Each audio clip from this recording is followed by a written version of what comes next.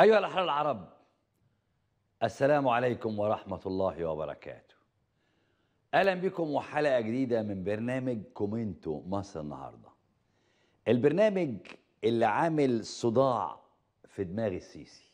السيسي المأزوم من كل الوجوه. المأزوم اقتصاديا المأزوم إعلاميا المأزوم سياسيا. حضرات السادة أهلا بكم والسيسي المأزوم.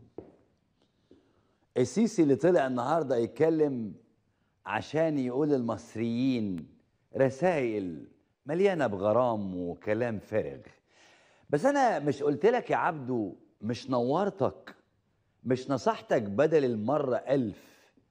من ساعة ما كنت أنا في إسطنبول. بس أنت ما بتسمعش كلام. أنا قلت لك يا عبدو غير إعلامك وقلت لك يا عبدو ده إعلام فاشل. لازم تتأخر كل الوقت ده عشان تطلع النهاردة تعترف قدام الناس كلها إن إعلامك مش قادر يرد ولا يدافع عن الكوارث اللي أنت بتعملها. حضرات السادة السيسي النهاردة الحقيقة خبط قلمين لكل إعلامه وقال لهم أنتوا مش عارفين تدافعوا. اتفضل. الحالة اللي بتتعمل معاكم يا مصريين هما دايما واخدينكم في حتة وإحنا باين علينا مش عارفين ندافع عن نفسنا كويس. باين علينا إيه؟ مش عارفين ندافع كويس. آه مش عارفين. آه مش عارفين. فشلة البازا فندي فاشل. أعزائي المشاهدين قلت لكم امبارح هنا. كلمة السر مش في محمد ناصر ولا في مكملين ولا في حد. السر في اللي بيقولوا بقى آه البرنامج ده. عشان كده لا أحمد موسى ولا البازا فندي ولا النبطشي عمرو أديب ولا اللي مشغلينهم اللي هو عبد الفتاح هيعرف يرد بعد ما عرضنا امبارح ملف بسيط جدا عن مشروعات السيسي وفضحناها بالأرقام. وقلنا هنا إنها مشروعات فاشلة وعبء على البلد وضيعت الجنيه وفرمت الاحتياطي وولعت في الاسعار والغريبة إن إحنا بعد ما عرضنا ده ودي أقل حاجة يعني فجأة الصبح يطلع عبد الفتاح يوجه لينا اتهامات ويدافع عن التفريعة اللي اتكلمنا عنها إمبارح. إمبارح لسه بنتكلم على التفريعة. يطلع يدافع عنها وعشان يدافع عنها هو مش لاقي مناسبة يطلع فيها. فيعمل إيه؟ فيخترع حاجة كده اسمها افتتاح مش عارف إيه كده في قناة السويس. آه هتسألني تقول لي إيه دليلك؟ هسألك أنا سؤال تاني. هو حد عارف السيسي ظهر النهارده ليه؟ افتتاح القرية الأولمبية لهيئة قناة السويس. اخترعها. آه مناسبة هو اخترع مناسبة يطلع فيها. والدليل الدليل هو مش افتتح قبل كده في مارس افتتح الأولمبية دي؟ خد الخبر ده أهو. مصر تحصد ست ذهبيات بالبطولة العربية البارالمبية لتنس الطاولة. اختتمت مساء اليوم الاثنين منافسات البطولة العربية للأندية لتنس التي أقيمت بالإسماعيلية في الفترة من كذا كذا بالصالة المغطاة للقريه الأولمبية لهيئة قناة السويس. الكلام ده فين يا أولاد؟ في 28 مارس 2022 يعني القريه اللي هو قاعد يفتتحها النهارده دي إيه، في مارس كانت شغالة. القرية الأولمبية لهيئة قناة السويس. واتلعب فيها بطولة. ده الدليل يا حضرات على إن السيسي اخترع مؤتمر وقعده والحديدة وقالوه عشان يعني ويقول لك افتتاح القرية الأولمبية. اللي أصلا كانت شغالة واستضافت بطولات. لكنها مجرد حجة عشان يطلع يرد علينا. لدرجة إن المصري اليوم كتبت الخبر كده. المصري اليوم كتبته بعد افتتاحها من جديد. شوف اتكسفوا بعد افتتاحها من جديد معلومات عن القرية الأولمبية لهيئه قناة السويس. المصري اليوم الحقيقة ما قدرتش تكذب وتقول افتتاح. افتتح السيسي اليوم الخميس القرية الأولمبية لهيئه قناة السويس. تلك القرية التي تم افتتاحها بعد عامين من إطلاق شركة قناة السويس الجديدة تقدم العديد من يعني القرية دي القعدة اللي هو قعدها النهارده دي الافتتاح ده تاني مرة يتعمل للقرية الأولمبية. وده اللي يخليني أقول لك إن السيسي جاي مخصوص لينا إحنا. عامل قعدة ولامم الليلة كلها ولامم الحرامية عشان يتكلم كلمتين. أنا فاكر آخر مرة طلع السيسي كان اتكلم علينا أو على القنوات المعارضة في الأمم المتحدة لما حرض علينا الدول وقال إن الدول التي تستضيف المنابر الإعلامية وتوفر لها الملاذ الآمن. حد فاكر ده؟ اسمع. ومن المؤسف أن يستمر المجتمع الدولي في غض الطرف عن دعم حفنة من الدول للإرهابيين سواء بالمال والسلاح أو بتوفير الملاذ الآمن والمنابر الإعلامية والسياسية. ده في سبتمبر 2020 بعدها حصل بقى اتفاق بين تركيا ومصر وقعدونا في البيوت. أوكي قعدنا في البيوت ما جابش سيرة الإعلام. قبلها بقى طول ما كنا على الشاشة كان فيه هجوم متواصل علينا من السيسي نفسه. سيبك من قلاضيشه خلينا نشوف الفيديو ده كده. وأي حد تاني بقى يتكلم في القنوات التلفزيونية بره دول يقولوا علينا ولا بتاع؟ لا مؤاخذة. والله كله هيتحاسب آه 100 مليون ويقولوا الأكاذيب والتشكيك ويدوروا في كل موضوع نعمله على الإساءة. وتشكيك الناس البسطاء ويقولوا لهم هتروحوا من ربنا فين لما تضيعوا 100 مليون بيدوروا على وبيجهزوا قنواتهم وبيدفعوا فلوس لناس عشان يهدوا بلد ومن المؤسف أن يستمر المجتمع الدولي في غض الطرف عن دعم حفنة من الدول للإرهابيين سواء بالمال والسلاح أو بتوفير الملاذ الآمن والمنابر الإعلامية والسياسية. أنا قلت لكم مرة قبل كده هم بيقولوا تغيير وأنا بقول لكم ده وجه بيقدموه للناس لكن الوجه الحقيقي اللي هم عايزين يوصلوا له اللي أنتم بتشوفوه قدامكم ده تدمير الناس وتدمير الدول. بدعاوي كاذبة زائفة. وبيعيد تصديرها للرأي العام في مصر. عشان يخلي الرأي العام هو أداة التدمير. هو أداة التدمير للدولة. وقدر عبد الفتاح السيسي إنه يقعدنا في البيت سنة. النهارده بقى بعد ما طلعنا له طالع يتكلم علينا تاني. النهارده إحنا لازلنا عقدة السيسي. بعد اعترافه بفشل إعلامه أخذ عبد الفتاح بنصيحة أحمد موسى واخترع مناسبه مناسبة أي مناسبة افتتاح القرية الأولمبية اللي اتفتحت في مارس. أي قعده وطالع يحط لهم سياسة تحريرية لإعلامه سياسة تحريرية جديدة ويديهم من علمه وخبرته في الإعلان التلفزيوني ويقول لهم إزاي تتعاملوا مع الإعلام المناوئ. حضرات السادة خلوني اعرفكم دلوقتي على عبد الفتاح مش الق... مش بتاع الجيش. عبد الفتاح التلفزيونجي. حضرات السادة أقدم لكم عبد الفتاح السيسي رئيس تحرير برنامج إخباري. طب ما تجيبوا الكلام ده وتطلعوا اللي اتقال في الجرايد المناوئة واللي اتقال في الإعلام المناوئ واللي اتقال على مواقع التواصل ال- الاجتماعي واتكلموا عليه وقولوا ده مثال حي لازاي هم عايزين يأثروا عليكم. اللي بيدافع عنه يجيب اللي اتقال. اللي اتقال علينا. وتحطه قدام مننا على التلفزيون هنا آه، نشوفه. أو على الشاشة هنا نشوفه. هو ده اللي اتقال لنا هو ده اللي إحنا فيه. ده اللي اتقال علينا وده اللي إحنا فيه. إن الإنسان المصري البسيط اللي من الشارع يفهم إن هو مستهدف. مستهدف إن هو ييأسوه يخوفوه يضعفوه. لأن هم ما عندهمش حاجة تانية غير كده. ما عندهمش حاجة غير التشكيك والإساءة وسوء ومعلومة صغيرة ممكن تكون صحيحة ويحط جنب منها آه، أكاذيب كثيرة. لا لا لا لا. هات اللي قالوه كله. هاتوا اللي قالوه كله وطلعوه وضحكونا على اللي قالوه. مش بيجيبوا صور وبيجيبوا آه، كاريكاتير وكلام من هذا القبيل. مالكم خايفين تجيبوا الكلام ليه؟ ما تقولوا. قالوا علينا وقالوا علينا وقالوا علينا. وإحنا كمان بنرد عليهم بإيه؟ بالواقع. دعا فتاح السيسي في وظيفته الجديدة رئيس تحرير برنامج إخباري. بس هو قال هاتوا لهم حاجاتهم بتاعتنا إحنا يعني وضحكوا الناس عليهم علينا إحنا يعني. تضحك الناس علينا على الفتاح هي دي مشكلتك؟ عبد الفتاح اللي هيحل مشكلة مصر إنك تطلع علينا كوميكسات؟ على كل حال إحنا مستعدين نطلع نلبس أراجوزات. لو ده هيحل أزمة مصر عبد الفتاح. مستعدين نطلع نقول نكت زي حمادة آه الله يرحمه الراجل بتاع النكت. لو ده هيحل مشكلة مصر. وبعدين يا الفتاح ما انت بقالك سنين بتعمل بروموهات في إكسترا نيوز علينا. بقالك سنين بتطلع إعلامك يقبح ويشتمنا وتسريبات جنسية وفضائح. حلت حاجة يا الفتاح؟ يا عبد الفتاح أنت مش راجل دولة. البلد مش لعبة يا عبد الفتاح. البلد مش بلكونتين في حي عشوائي نقعد نشرشح لبعض.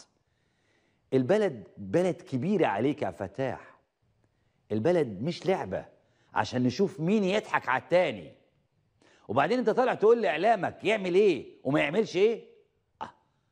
طب ما هم كانوا بينفذوا اللي أنت بتبعته على سامسونج.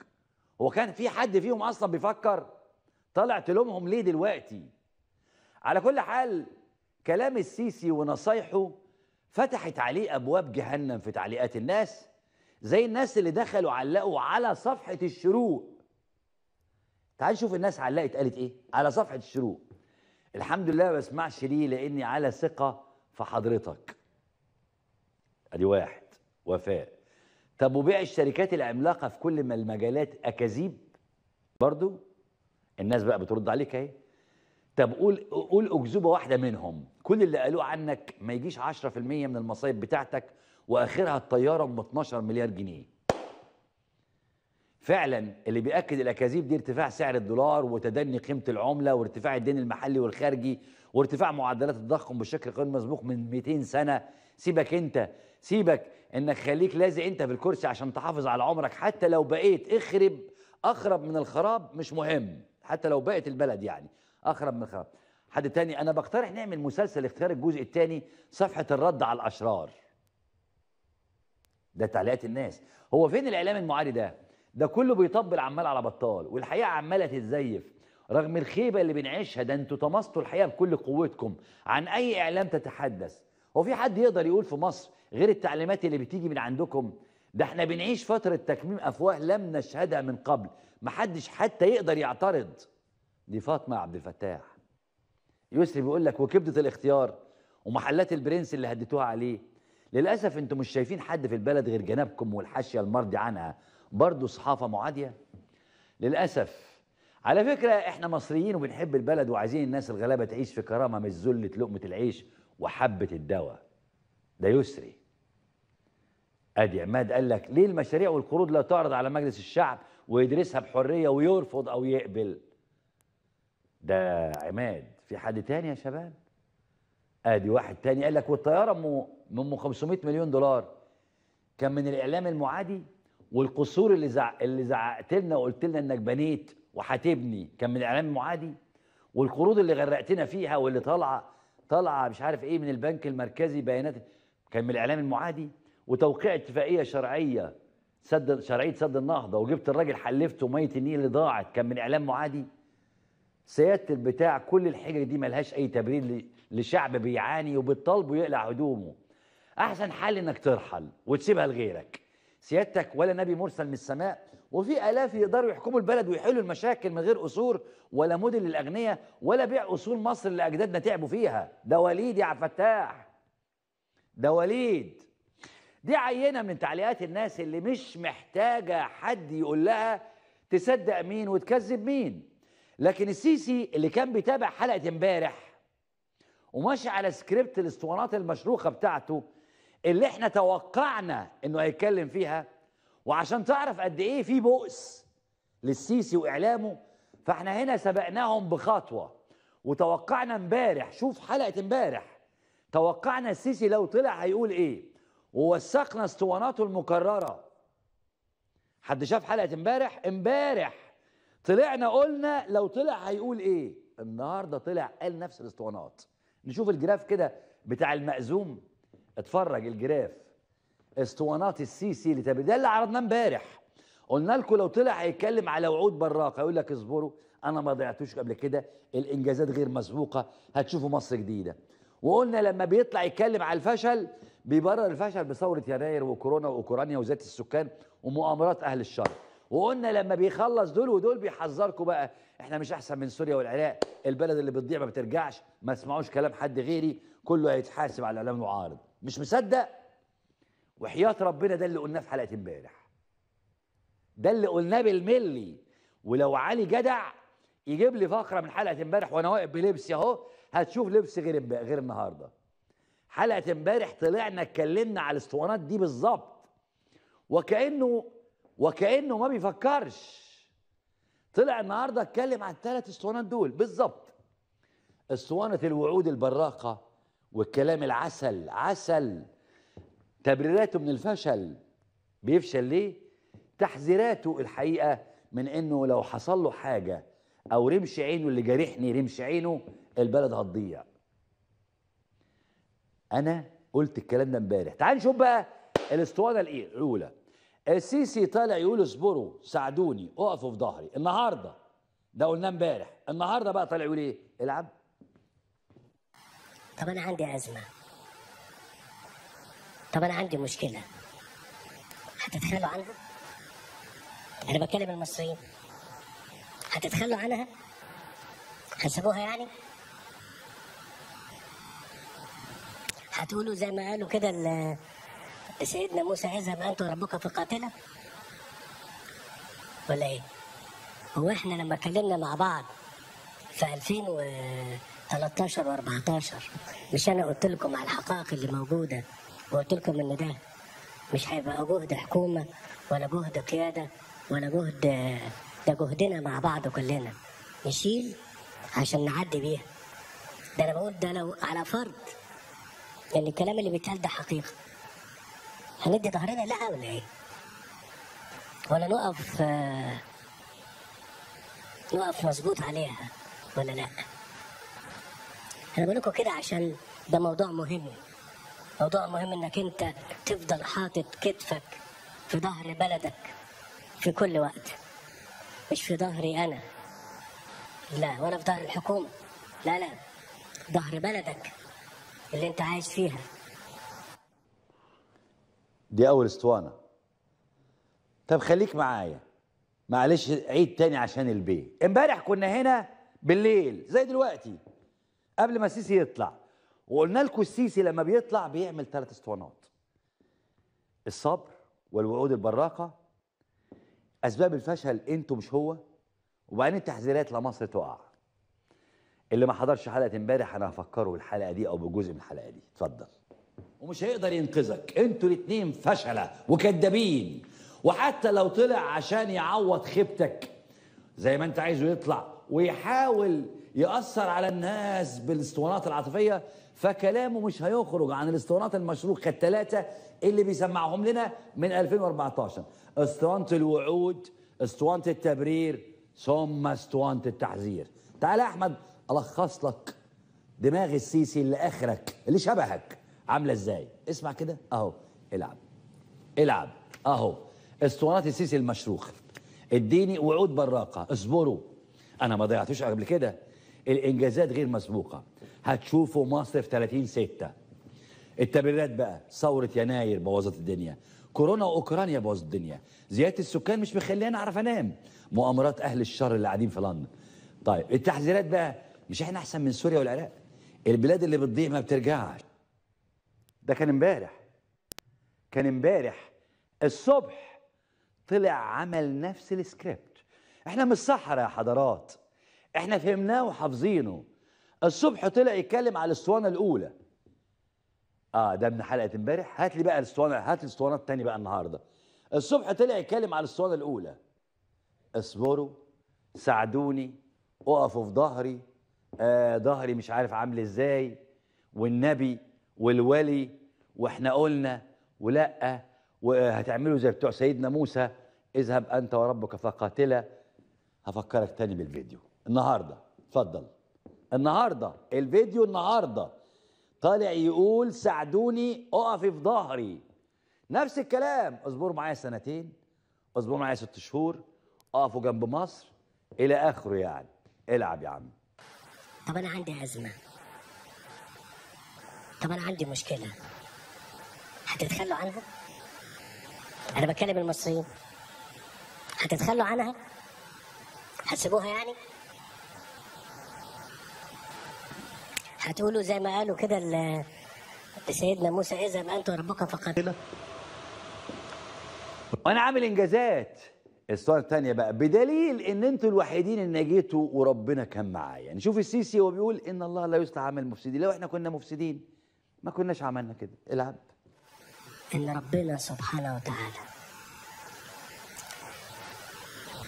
إن الله لا يصلح عمل المفسدين. لو إحنا مفسدين مش هننجح ربنا وحده مطلع علينا. إن الله لا يصلح عمل المفسدين. إذا كنا إحنا مصلحين في الأرض بنبني ونعمر وبننمي وعايزين نعيش أهلنا وشعبنا ونغير حياتهم للأفضل لازم تكونوا متأكدين إن ربنا مساعد. واللي حصل في. في السنين اللي فاتت والله أنتوا الوحيدين اللي نجيتوا. أنتوا خالتي قاعدة بقى خالتي قاعدة بقى. ده ده أنتوا الوحيدين يا يا هب ده أنتوا الوحيدين. دي الاسطوانة الأولى. الاسطوانة الثانية بقى التبرير. ودي السيسي بقى أفرط فيها قوي وفضل يشغلها ويكررها كتير. شوية قال لك هات الاسطوانة الثانية الله يخليك هنا. هات لا الاسطوانة الثانية هات ال- الاسطوانات الاسطوانة الثانية بقى التبرير. شوية قال لك شماعة يناير و... واللي حصل في يناير. وشوية ضاف عليهم أهي. الاسطوانه الثانية ثورة يناير كورونا زيادة السكان مؤامرة أهل الشر. أفرط قوي بقى في الكلام النهارده على ثورة يناير. وراح را- خابط رقم خزعبلي من الخسائر. قال لك ثورة ي... النبي هقولها هنا. ثورة يناير تسببت في إن مصر خسرت 460 مليون مليار دولار. تعال نشوف كده. اسمع السيسي بيقول إيه. أنت ليه مش عايز تدفع تكلفة اللي عملته في 2011 و2013 هو اللي انت عملته ده مش كان ليه تأثير مدمر على اقتصادك؟ أنا بقول كلام لا صحيح. مش كان ليه تأثير مدمر على اقتصادك؟ مش لا مؤاخذة آه، لما جينا نحسب الرقم ده لقيناه دخلنا في 450 مليار دولار. هو إحنا يعني الدولارات عندنا بال كده عشان نخسر 450 مليار دولار في في ثلاث أربع سنين؟ ده كان ده كله ده على حساب مستقبل مصر. وحاضرها أنا بقول لكم عشان تبقوا في الصورة. يا جماعة ما دام أنتوا عملتوا إجراء ال ال كلنا مع بعضنا بقى نستحمله مش حد يقول لك إيه؟ لا إحنا آه، نطلع نعمل آه، اجراءين ونرجع البيت. ويلا كملوا أنتوا. اعملوا أنتوا بقى حلوا لنا المسألة. لا إحنا بنحل المسألة مع بعضنا. إحنا بنحل إيه؟ المسألة مع بعضنا. وأنا بقولها لكل المصريين. ما تقوليش بعد ما تعمل اللي عملته يلا خلصت من الموضوع. لا إحنا حن... ثورة يناير. أنا طبعا فزعني أنا واحد من الناس اللي فزعني الرقم الفزوع اللي قاله إن ثورة يناير تسببت في خسارة مصر ل 450 مليار دولار. وهو بتاع إيه الرقم ده؟ ما تعرفش.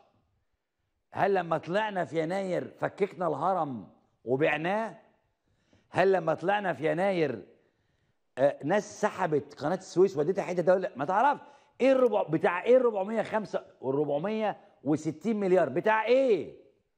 ده البنك المركزي كان الاحتياطي النقدي فيه وقتها 36 مليار بتاع إيه؟ 450 مليار بتاع إيه؟ على أي حال مش هضيع وقتي هنرجع للأرقام بتاع الفتاح لأنه عنده مشكلة مع الأرقام. اصبر عليا كده لكن دي كانت واحدة من الحجج. شوية ورجع يقول لك حرب أوكرانيا والأزمة العالمية هي السبب. إحنا لسه في الأسطوانة رقم اتنين تبرير الفشل. العب. هو قبل الاقتصاد أتكلم الأول على موضوع السلع وتوفرها وأيضا الأسعار المرتبطة بها واسمحوا لي إن أنا يعني أقول لكم إيه. في كلام كتير بيتقال على إن الأزمة دي أزمة عالمية وليها تأثير كبير جدا على كل دول العالم وإحنا منهم. ما الراجل ما كدبناش ما كدبناش. هات لي الاسطوانات يا ما تنساش الاسطوانات يا الله يخليك يا عز يا هلا يا عز. الاسطوانات الراجل ما كذبناش في الاسطوانات. التاني ثورة يناير كورونا الراجل ما بيكذبش. وطبعا مؤامرة أهل الشر. شوية يقول لك لا ده الزيادة السكانية. النهارده بيقول أنتوا شعب كتير. نسمع كده وهو بيقول لك لحد النهارده زدنا 25 مليون. اسمع. النقطة الثانية أنت بتتكلم من نهار من 2011 للنهاردة زدنا 25 مليون. أنا بقول كلام مظبوط 20 25 مليون؟ طب دول آه، عايزين يعيشوا؟ يعني كان عنده سنة بقى النهاردة عنده 12 13 14 سنة. صح كده؟ طب واللي كان عنده 10 عايز يشتغل ويتجوز يبقى عنده بيت. 20 25 مليون ده بقى أمر دول كاملة عددها نص العدد ده. عايشة بيه بقالها سنين. طب انت هتكمل ده إزاي؟ ما الراجل يا جماعة وحياة ربنا كان رئيس تحريره هو رئيس تحرير البرنامج ده وكان فريق اللي عدله الكلام بتاع النهاردة يبدو إن الفريق بيخني وبيعدله. ما خرجش عن اسطوانات. في تبرير الفشل ثورة يناير كورونا زيادة السكان ومؤامرة أهل الشر. نيجي بقى للاسطوانة الثالثة. لما يفشل بقى خلاص ويفلس يقول لك إحنا أحسن من سوريا والعراق البلاد اللي بتضيع. الكلام ده قلناه امبارح. الكلام ده شوف حلقة امبارح. قلناه بالنص. البلاد اللي بتضيع ما بتضيعش. بالنص. يا حضرات بالنص امبارح بنقول هيقول لكم البلاد اللي بتضيع ما بت مؤامرات بقى أهل الشر والبلاد واللي قال لك هيعملوا كل ده عشان أنا رافض رافض التصالح. نسمع السيسي وبيتكلم. والشغل ده هيزيد عليكم والتشكيك هيبقى أكتر. طب ليه؟ أقول لكم ليه؟ طب نتصالح. نتصالح. أنا بكلمكم بجد والله. إذا يعني إذا كنتوا عايزين تفهموا ليه نعمل إيه؟ نتصالح يعني إيه؟ نتصالح يعني إيه يا دكتور مايت؟ مع مين؟ نتصالح يوم خلاص بقى هنتصالح ناخد مساحة ونتحرك وما نعملش كده إلى حين إلى حين إلى حين فأنت مش عايز طب ما طول ما أنت موجود بقى مفيش فايدة فيك تقول يا دكتور طول ما ده موجود إيه نخلص منه بأي طريقة بقى ربنا يعيننا. هم. إنما الأمر كله لله سبحانه وتعالى. لا حد بيتخلص من حد ولا حد بيقعد حد. هو ربنا اللي بيقعد وبيمشي. صباعه قد كده. يعني أنا أو العو. أنا أو العو. الحل عنده إنك تقبلني بمشاكلي وفسادي وقصوري وطياراتي والبلاوي بتاعتي أحسن والله أجيب لك العو. والعو هم الايه؟ الاخوان. هو بيقول كده يعني نتصالح؟ نتصالح يعني إيه يا دكتور معيط؟ آه هتقبل البلاوي الزرقاء اللي انت شايفها دي وطياراتي والحاجات دي والمدام والبراندهات وكده ولا أجيب لك العو شغل قطاع طرق.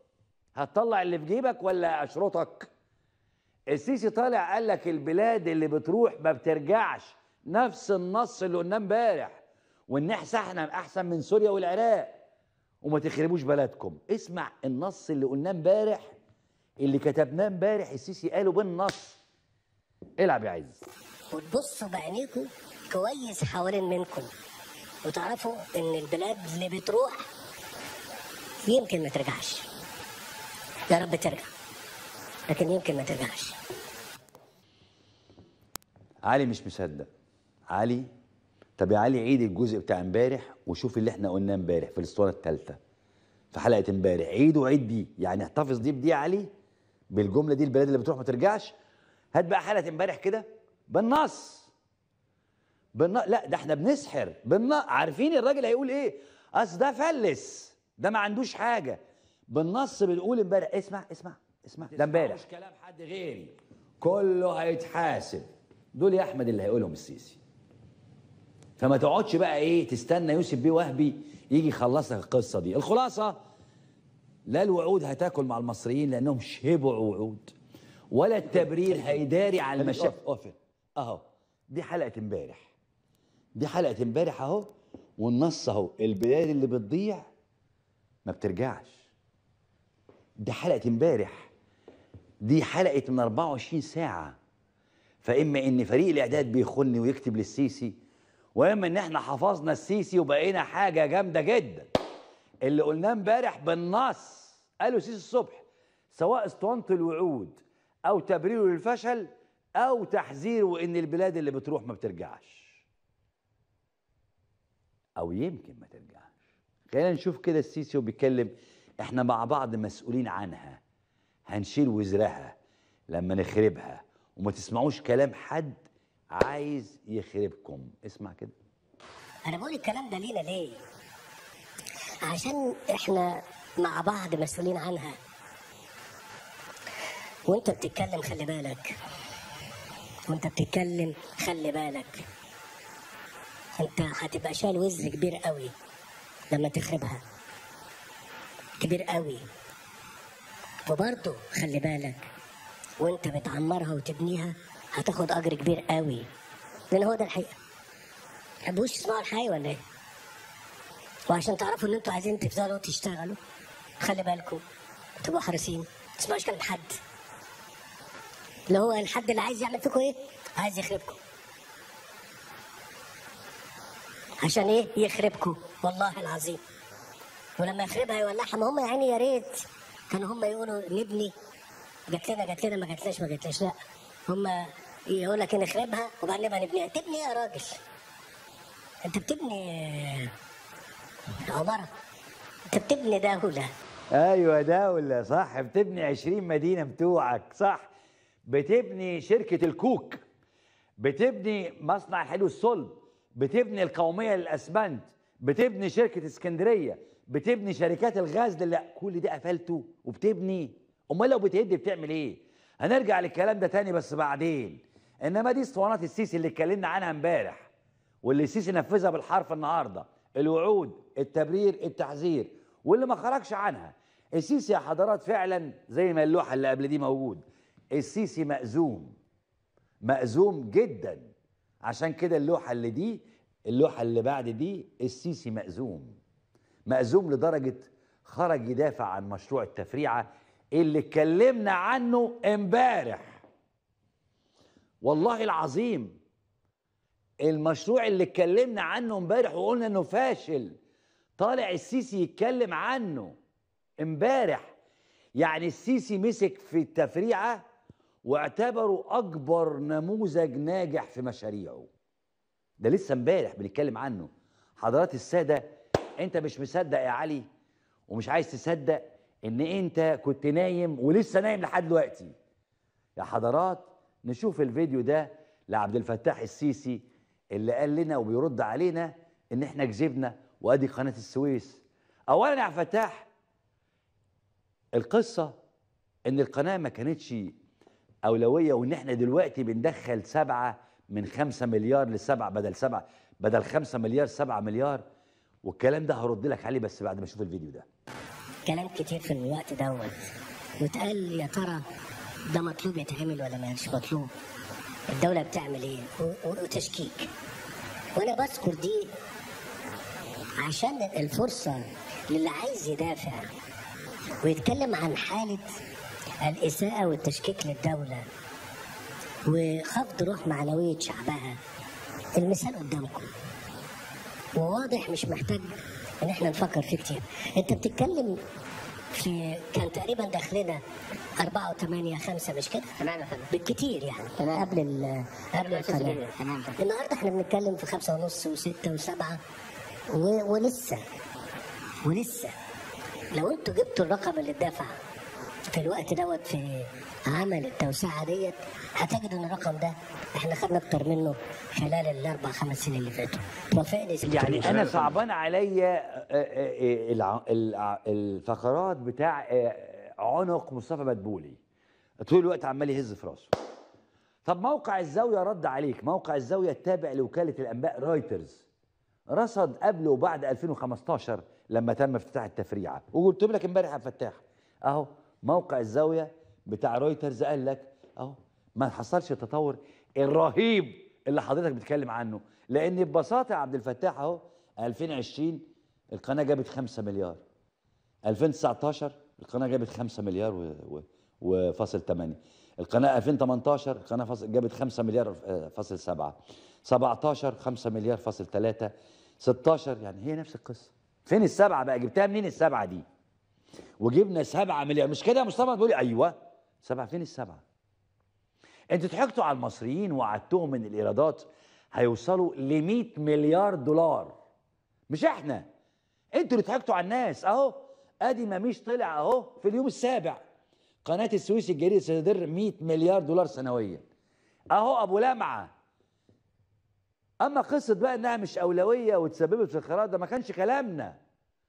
مش إحنا اللي قلنا ان حفر التفريعة اللي انت مسميها قناة السويس ما كانتش لازم تبقى اولويه مش إحنا اللي قلنا الكلام ده ده كان كلام هشام رامز محافظ البنك المركزي قبل التعويم وقال إن ده عمل ازمه دولار وقال هو اللي توقع هشام رامز وقال وكان محافظ البنك. اسمع كده.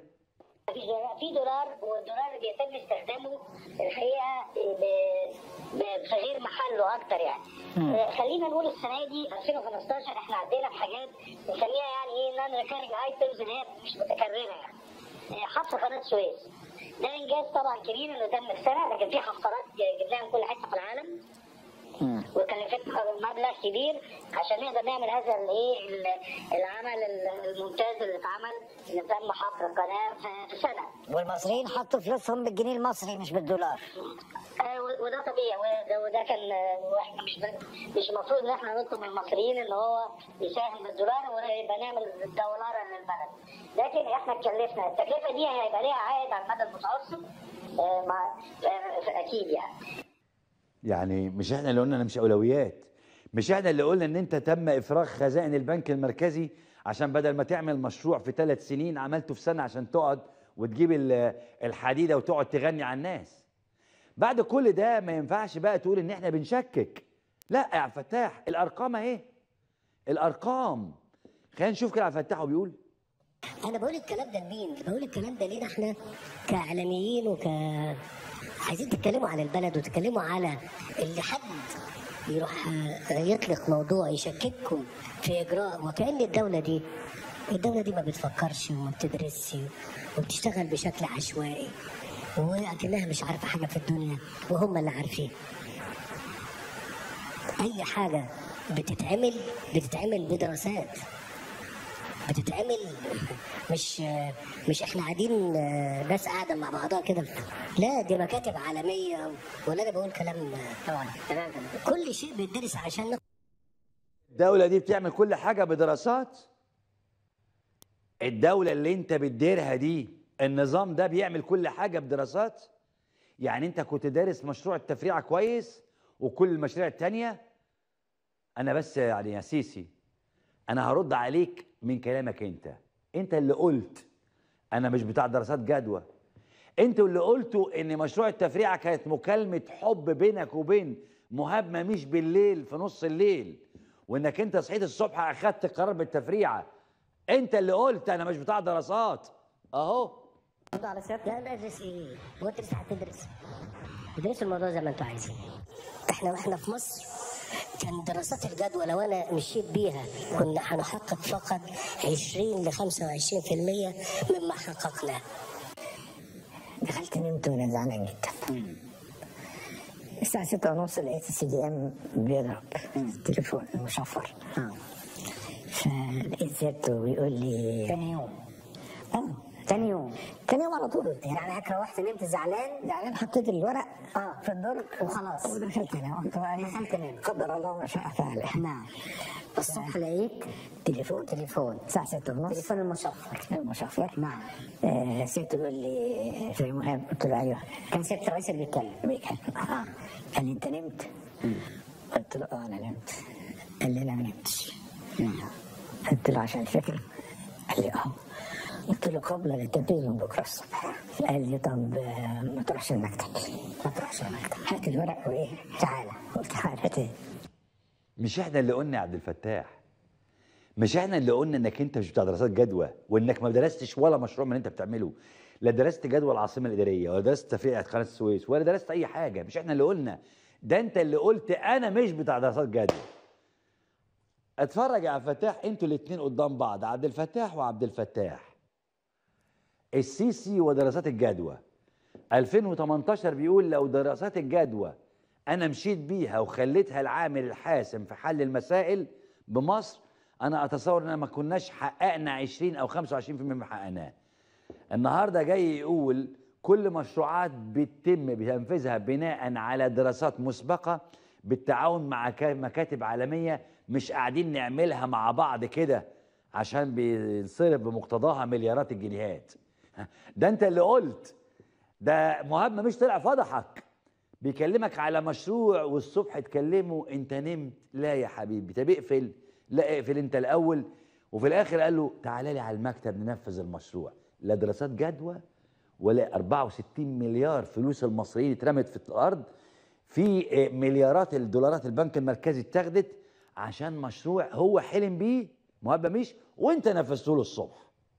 لو عايز نموذج تاني بقى إن القناة عملت عشان رفع الروح المعنوية فيكفي إنك أنت بعد كل الصرف ده كانت القناة فيها عيوب اضطريت تعمل مشروع تاني لتطويرها بعد أزمة السفينة ايفر جريف أو ايفر جيفن اللي آه، آه، آه، اتحشرت في في البتاع ده الممر والمشروع التطوير هيكلف 14 مليار.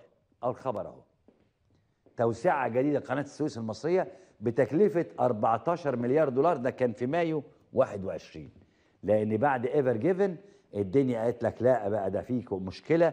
وهنعمق الجزء الجنوبي من الممر المائي الذي علقت فيه السفينة الحاوية ايفر جيفن في مارس كذا وعطلت المرور. يعني مفيش دراسة. وأخيرا حكاية بقى إن القناة بتصرف على نفسها وهي اللي بتمول التطوير الجديد فدي كذبه لأن القناة مديونة سعادتك وبتستلف من البنوك 20 مليار. اسمع بقى السيسي بيقول إيه؟ طب دلوقتي إحنا لما جينا نعمل الشق التاني دول خدنا عملنا عملنا كتابة يا دكتور مصطفى؟ مين اللي بيعمل المشروع؟ هاي قناة السويس ه- هيئة قناة السويس يعني الدولة. وده مش معناه إن إحنا يعني مش عايزين ناس تساهم ولا حاجة. لا لكن عايز أقول إن الدولة لما عملت ده بقى ليها دخل. الدخل ده ابتدى يتطور وبيستخدم في تطوير القناة لصالح إن هو إن إحنا نحافظ على أي معدل حركة. مهما حصل نحافظ على 11 ساعة. أنا بقول كلام مظبوط؟ تمام كلام مظبوط. دخل بيتصرف عليها؟ طب تعال نشوف كده الخبر من شهرين في الشروق. بتقول إيه؟ اقتصاديات قناة السويس تخاطب تحالفا مصرفيا لاقتراض 20 مليار جنيه. دخل إيه؟ دخل إيه يا الفتاح. انت بترسم على مين؟ بتكذب على مين؟ الخلاصة الموضوع مش مين يضحك على التاني. إحنا مش عايزين بلدنا تبقى سوريا والعراق. والقصة مش نكتة يا الفتاح. اللي انت بتعمله بيضيع البلد فعليا. وكل الناس والخبراء مش إحنا. نصحوك بلاش التفريعة في سنة. بلاش صندوق النقد. بلاش العاصمة الإدارية. بلاش القصور الرئاسية. بلاش قروض. لغاية ما بقت البلد في أزمة مش مستحملة خالص. مفيش ضحك دلوقتي يا فتاح. مفيش مين يضحك على مين. البلد مش مستحملة حد يضحك على حد. البلد وصفها شاعر سندباد الكلمة إنها بلد العميان. دولة العميان. هو اللي بيقول يا دولة العميان قولي أو قولي اللي بيحكمك خف. فائت همومنا الحقيقة جبال وهو ولا بيحس. واقفين في قلب طابور عايشين فيكي بالدور عشان نحقق حلم والحلم مات من الوقفة وابنه مات بعده. راضيين نموت من الجوع لكن اللي حكمك لا. يا دولة العميان دقي ناقوس الخطر. ده اللي حاكمنا جبان. ماهوش أساسا بشر. سجن اللي قال تعبان قتل اللي يوم اعترض. ما رحمش فيكي ضعيف ولا ترك له سند. يا دولة العميان يكفيكي زيف وغش. ما تقولي عايزة إيه؟ وتجيلنا كده وش في وش. ما كفاية غدر وخوف ما كفاية سحل وسجن ما كفاية ابنك هاجر. وتعبنا عيشتك. ذل.